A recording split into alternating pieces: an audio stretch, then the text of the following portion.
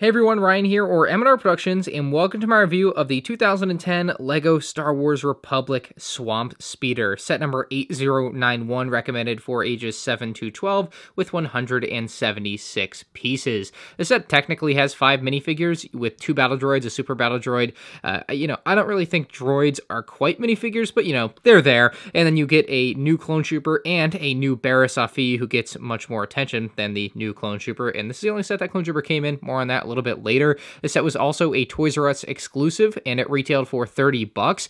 It was overpriced. If you look at that in today's money, that's about $36. Here in a moment, I'll show you guys what comes in the box. There's a lot of box bloat, so kind of unfortunate in that way, but the box art is pretty attractive. It's showing Saleucami and the Swamp Speeder just zooming through there, taking out some battle droids basically with those flick fire missiles, so that's kind of neat. There are some fun play functions and whatnot in this set. Also, shout out to the shadow of the homing spider droids there on Saleucami. Kind of neat. Back of the box shows you some other sets from the time, including the Freeco Speeder, Droid Tri-Fighter, and uh, TIE Defender there. Another angle of the Swamp Speeder, and then a few different play functions for the Swamp Speeder as well, including the ability to move it forward. Did you know you could literally move this set forward?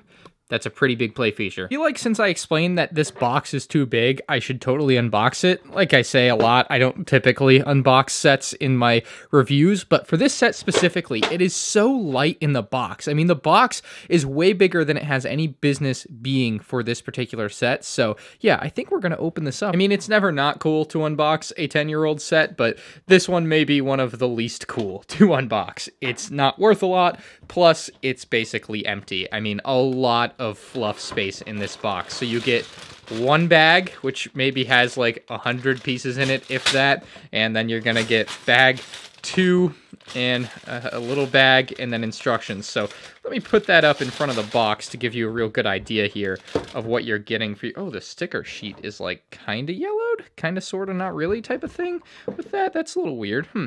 But yeah, I mean, look at these pieces versus the box. I mean, this is what you get inside the box.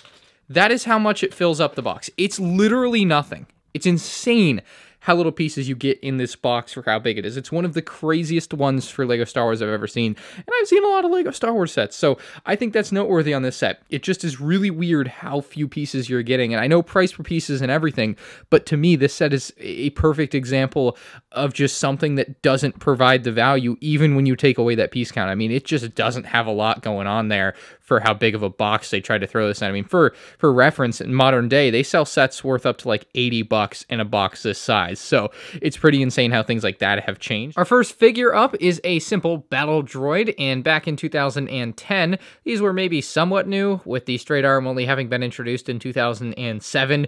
But yeah, you get two of them in the set. They have the regular LEGO Star Wars blaster there, and they look generally good. I think the battle droid has really been a good figure for LEGO over the years, and these don't really disappoint. Continuing to add on to your droid army is a super battle droid, another character that looks quite amazing for having been around for so long. You have this kind of open back, which honestly looks a bit weird, but as far as the front of the super battle droid goes, it's a pretty superior look, very strong looking, and of course the arms are posable, so you can put one arm up and have him pretend to be shooting at the Jedi or the Swamp Speeder. I think it's a pretty good look. The weight of that is a little bit awkward though. You can have these figures fall over if you don't have them attached to studs. That's one of my like main little issues with them, but other otherwise, uh, these figures are pretty dang good. While it may not be entirely obvious at first, this was an exclusive Clone Trooper to this 2010 Swamp Speeder, and I do believe this was the final open eye look for the Clone Trooper. This was the last one that they made, and after this, they switched over to the fully closed out mold with just the print on it for the see through visor or whatever. Like, they made some big changes to the Clone Trooper after this one, but this was kind of the end of an era as far as these clones go, and it was kind of the peak for them. It had the dotted mouth pattern, which is kind of what made this one uh, unique as far as the helmet goes compared to the 2005 7 uh, versions of this particular figure. And then the lines for the torso, while the print didn't actually actually end up being uh, super different. The the biggest difference in it is that it was actually like a thicker line in there. Like all the lines were thicker and it's a little bit of a darker, more black look. So that's kind of the interesting change that they made with this character uh, going into 2010 here and really with the final iteration before that full on redesign that they end up doing in like 2014. So good looking figure. Of course, just a black head underneath if you weren't sure. Of course, that was standard for the time, but maybe not so much anymore in 2020. Love this figure. I wish there were two in the set for 30 bucks. I think they pretty much knocked the Barriss Offee look out of the park. You've got the good old hood piece, you've got a black cape piece, but what I really like on this figure are those really nice and fine details in the torso. Obviously, no leg print or arm print, so there definitely is something to be desired there, but the torso print is actually really cool with some dark blue lines that are somewhat difficult to see uh, unless you're at the correct lighting angles. But that's what I really like about this figure, I think. It's just those small, fine details that are immediately maybe noticeable, and plus her face detail is quite excellent as well. I think they really nailed that look down.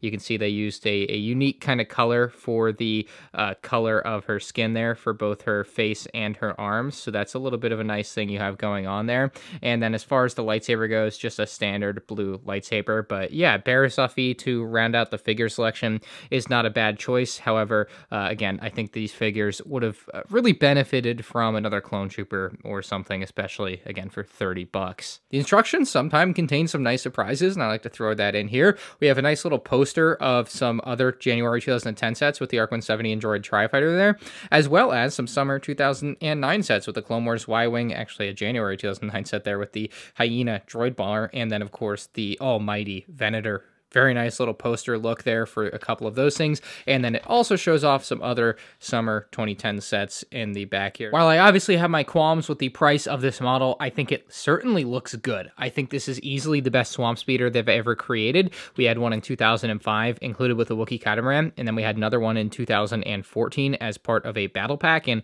this one is far and away the best build. So it certainly has that going for it when compared to other swamp speeders. Now, it does have some good play features and details. They do use some stickers to get in some of the finer details on these front uh, shields here. I think those are pretty nice pieces of armor or whatever for the Swamp Speeder as they're flying through the fire of the battle droids. And the stickers are fine. They don't really line up very well. I found that to be a little bit annoying that you can't get the red to like line up with each other because the stickers just don't have enough reach in that aspect. So that was a little bit disappointing. But other than that, I think it's fine. I think the red markings as far as like an accent color work really well.